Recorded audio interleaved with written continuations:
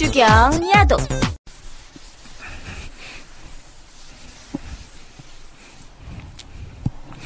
그래서 어, 개통이 예, 발전기가 있고 변압기가 있고 이 선로가 있습니다.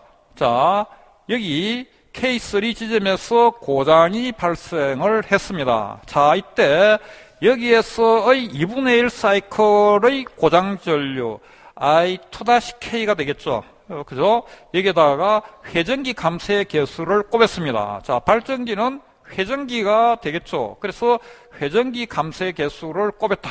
그럼 이 회전기 감쇄 개수는 어떻게 적용을 하느냐 하는 겁니다. 어떻게 적용을 하느냐 하면은 IC 규격에서 이러한 계산식을 주고 있습니다. 그래서 보시면은 T 미니멈입니다.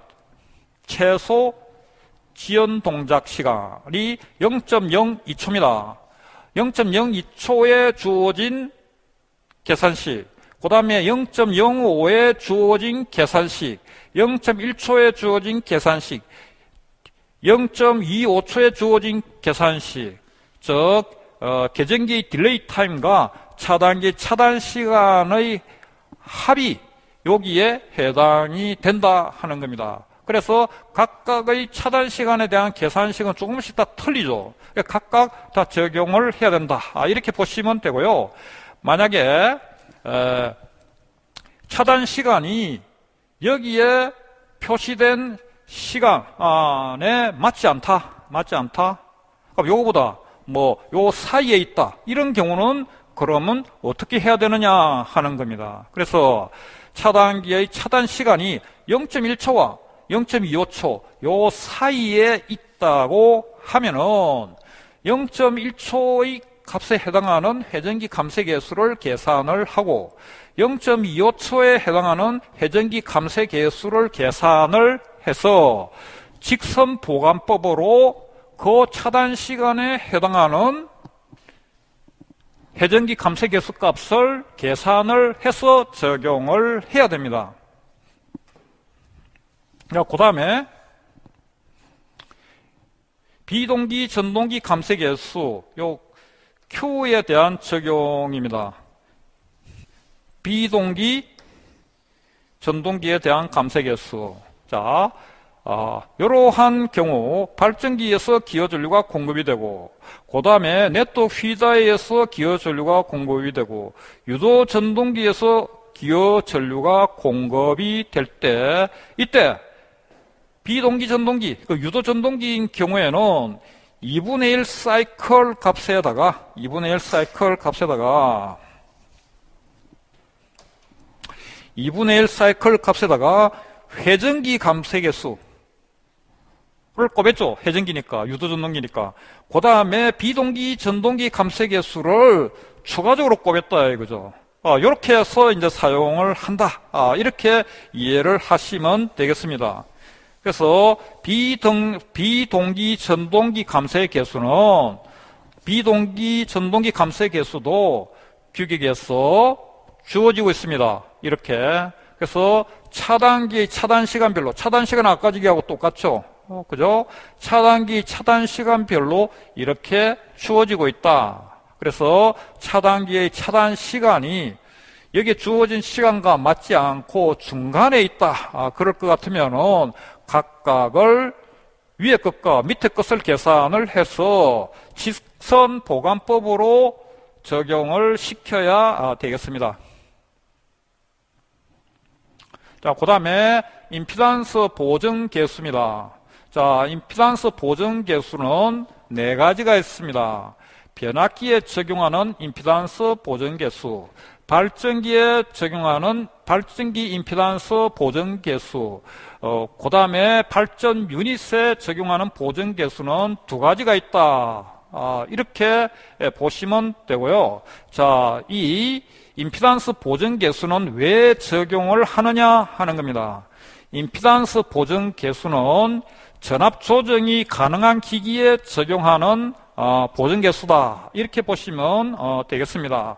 예를 든다면은 변압기인 경우에 고장 전류를 계산을 해서 차단기를 선정을 했습니다. 그런데 운전을 하다가 변압기의 탭을 조정할 필요가 있는 경우가 있겠죠.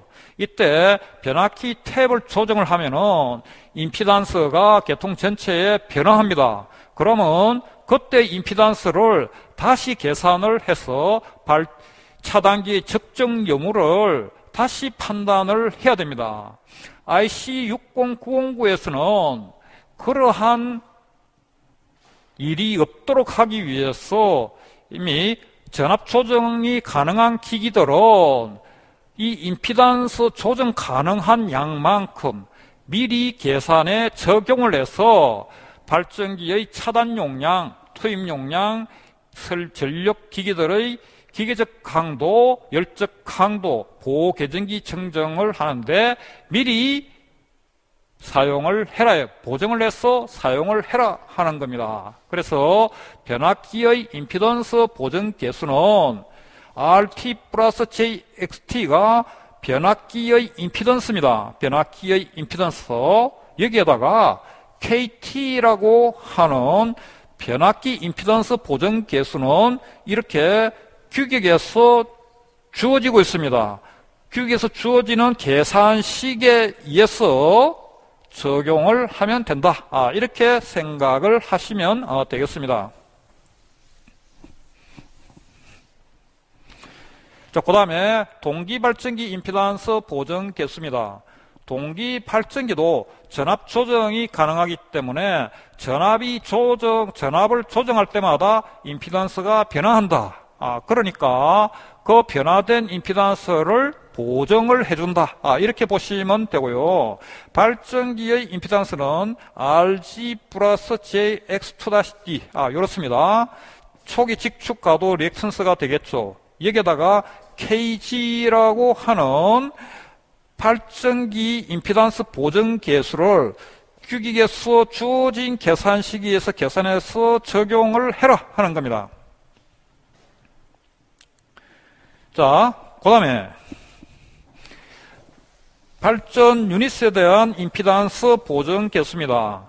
발전 유닛은 발전기와 변압기가 한 개의 세트화 된 기기를 말합니다. 그래서 이러한 발전 유닛은 보아시 탭 절안 장치가 있는 발전 유닛이 있고 보아시 탭 절안 장치가 없는 발전 유닛이 있습니다. 그래서 여기서는 보아시 탭 절안 장치가 있는 발전 유닛 이선 자 어떻게 계산을 하느냐 하면은 임피단스는 자 요게 칼로 안에가 발전기의 임피단스입니다. 발전기의 임피단스. 거기다가 KS를 꼽았죠. KS는 보아시 탭 절안 장치가 있는 발전 유닛의 임피단스 보정 개수가 있습니다. 개수가 되겠습니다. 이것은 규격에서 주어진 계산식에 의해서 계산해서 적용을 하면 된다 하는 거죠. 그 다음에 칼로 안에는 발전 유닛의 임피던스인데 G, G는 이 발전기의 저압측 임피던스가 되겠습니다. 그 다음에 GTHV는 요 고압측에서 본 발전기의 임피던스가 되겠습니다. 그래서 고장은 K3에서 났죠. 그럼 이 지점에서 본 임피던스는 고장 지점이 고압이니까, 고압측이니까 고압측 임피던스로 저압측 임피던스를 환산을 해줘야 됩니다. 그래서 TR은 환산계수다. 그래서 어, 환산계수는 전압비가 되겠습니다. 그 저압분의 고압이 TR이다. 이것을 발전기의 임피던스에다가 곱함으로 해서 저압측 발전기의 임피던스가 고압측 발전기 임피던스로 변환이 됐다. 이렇게 보시면 어, 되겠습니다.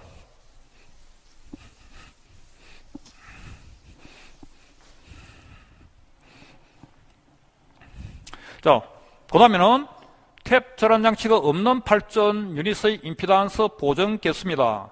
발전기의 임피던스는 동일하죠. 동일한데 어, 아까 전에는 KS였습니다. 이번에는 KS0다 이거죠.